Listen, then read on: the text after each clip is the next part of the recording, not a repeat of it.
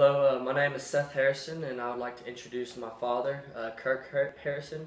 He is uh, 46 years old, and um, Dad, I just want to let you know that uh, this will be on YouTube, and is that okay? No. Yeah, no, it's fine. That's good. Okay. All right. Um, first, first off, I want to start off with a few questions about um, age, and I just want you to just give me your opinion on that. Okay. So, uh, what do you consider to be old age and why? Old age and why? Okay. Um, you know, I would say you know, to me, as you get up into your you know, late 80s and 90s, um, I, I'm seeing that to be old age today. Uh, you know, that's as old as my uh, you know my, my grandmother lived to be into her 90s and had a very uh, you know healthy life. I've got another uh, another aunt who is uh, 95 and she's still driving and doing all sorts of stuff along those lines. So uh, I think if you uh, take care of yourself and and uh, and eat right, you can you can do those things. All right, sweet. Um, second one, uh, what type of things are you doing now to live a healthy life? Well, uh, as you know, I've been losing weight, which is uh, which is a biggie. Uh, so and, working out. So really, you know, for you know the things that I'm trying to do from a healthy lifestyle is you know, watch what I'm eating, uh, working out, doing both uh, you know cardiovascular and, and weight training, uh, and for the most part, you know, trying to eat healthy. Uh, don't always do it. Didn't do it last night, but nice little steak, red meat, it's good. Uh, but besides that, no, we're uh, just trying to work out and uh, and eat healthy. Okay. And uh, what do you think you should do in your future um, years, like to live a healthier, healthier life, um, just when you get older and as you continue to age? Well, you know, um, since I'm you know aging so gracefully now, uh, no, I uh, I think the things that I want to try to do, you know, in the future is, you know, I I, I realize that uh, you know my weight where it was uh, little. It was too, I was too heavy, and uh, I'm trying to.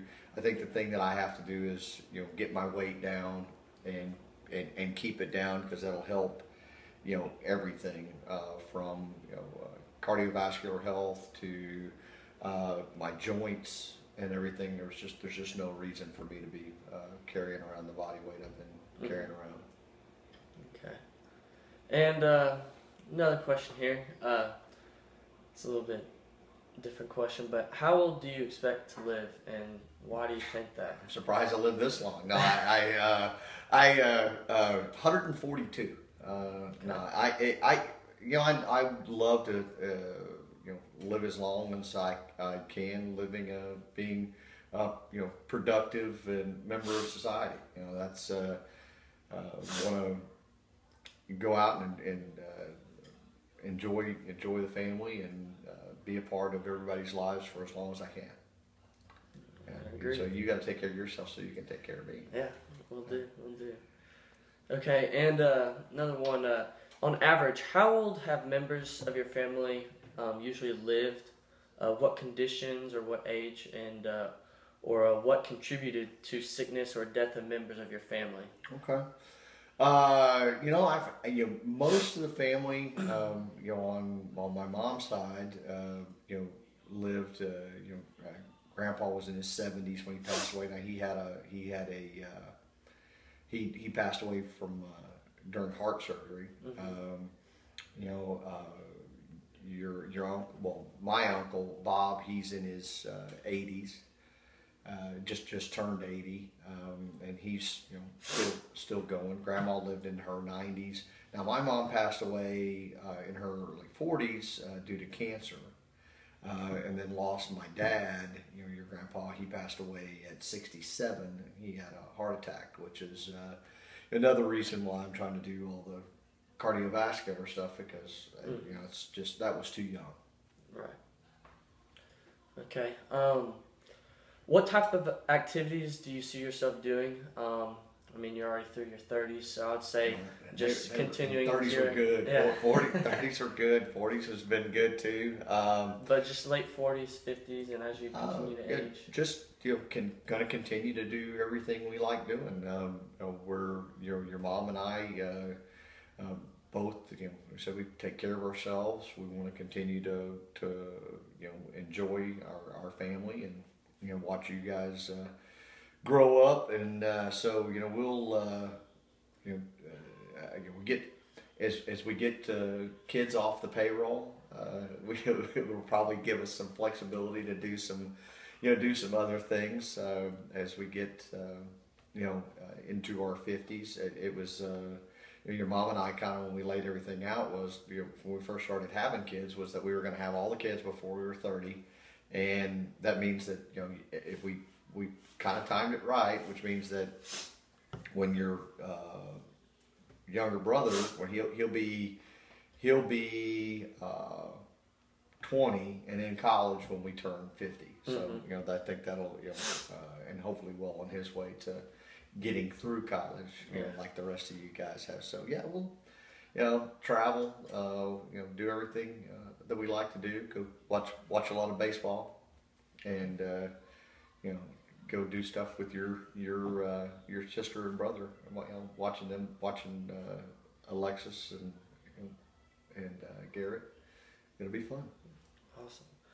All right, and finally, uh, what do you wish that you would have done um, in your youth or when you were younger to, uh, I guess, just better uh, help your life um, in areas like health or education, um, finance? Okay. Uh, well, you know, I, I I was you know from a health wise, I think the the the the only thing I would I would change was. Uh, know, I wish I knew more about uh, nutrition and things along those lines when I was coming through high school and you know, et cetera, because there's just so much more knowledge out there today about you know how to you know lead a healthier lifestyle, how to how to uh, if you're trying to gain muscle, if you're trying to you know build strength, there's a lot more information out there than there was when when I was coming through high school. Uh, you know, from a finance standpoint, oh my gosh, um, biggest thing, save more money. Uh, I mean, I think that's the, you know, that's the key. If I can give you know any you know any uh, kid coming out, you guys coming out of college, uh, is uh, you know save your money.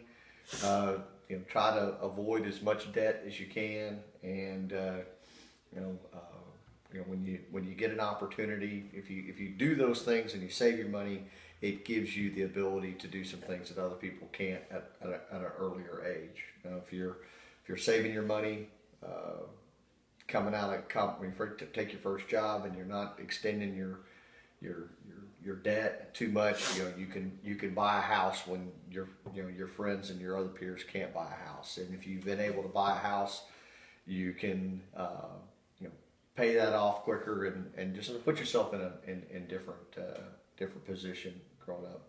You know, not, not that we didn't do okay, but uh, you know things could we could do some things to make life a little easier, for sure. Awesome. All right. Well, uh, that will conclude this interview. And Dad, I just want to say thank you. Thank You're- you for coming in and you're doing this welcome. for me. You're welcome. Love you. Yeah, I love you too. All right. Awesome.